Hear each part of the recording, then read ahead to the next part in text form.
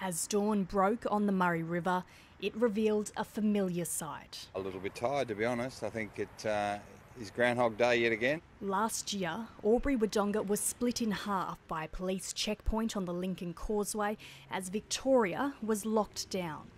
This time, the problem is north of the border, but the impact is still being keenly felt.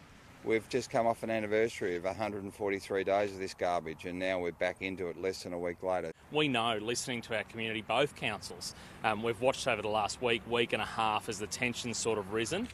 Both mayors agree this lockdown looks to be more manageable, with lessons learned from the hard closure that divided the city last year.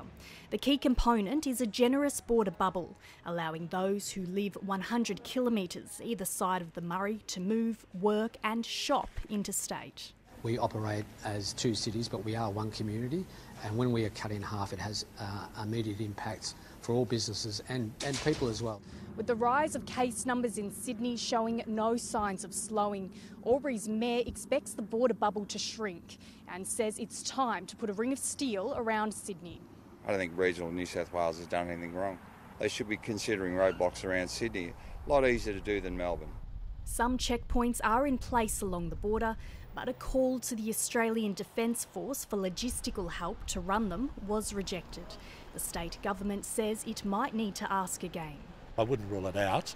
Uh, if the situation continues to deteriorate, Victoria and Victoria Police will take all the measures we need to keep Victoria safe.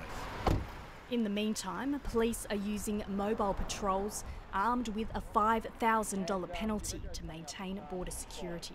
Mikaela Ortolan, ABC News, Albury Wodonga.